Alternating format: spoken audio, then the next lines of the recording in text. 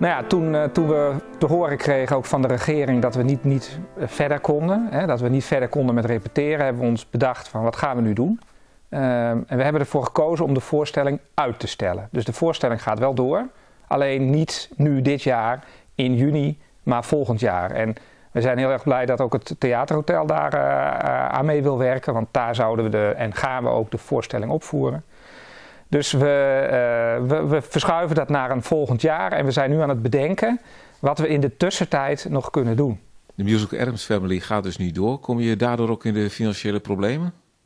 Nou, wij maken wel kosten. Uh, en dat zijn met name kosten als het gaat om inkomstenderving. We, hebben bijvoorbeeld geen barinkomsten. We verhuren dit gebouw ook aan anderen. Uh, die inkomsten komen niet binnen.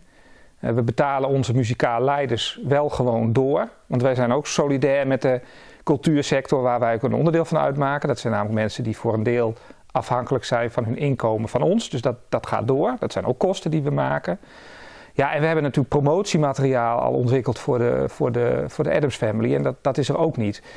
Dus wij, wij maken wel kosten en dat schatten we zo in op 4000 euro. Hoe ga je dat tekort oplossen?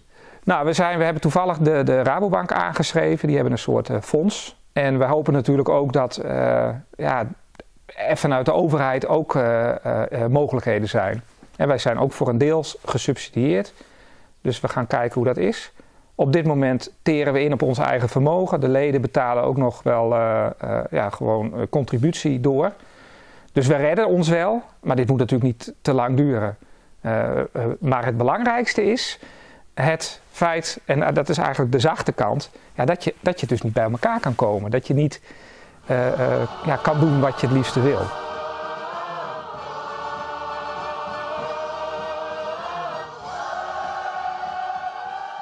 Ja, ik vergelijk Servus eigenlijk altijd maar met een familie.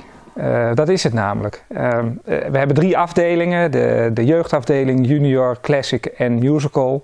En uh, nou, dit jaar helemaal een bijzonder jaar, 35 jaar jubileum. We zouden toewerken naar een voorstelling. Maar ja, we mogen elkaar niet zien, tenminste niet in het echt. En dat is ontzettend jammer, want ja, dat wil je toch wel graag met je familie, dat je elkaar kan zien. En ik zeg wel eens, we zijn misschien niet financieel afhankelijk van, van van alles en nog wat als het gaat om Servus, maar wel emotioneel afhankelijk. Ik bedoel, dit is wat we het liefste doen met elkaar en dat, dat kan nu niet en dat is heel erg jammer.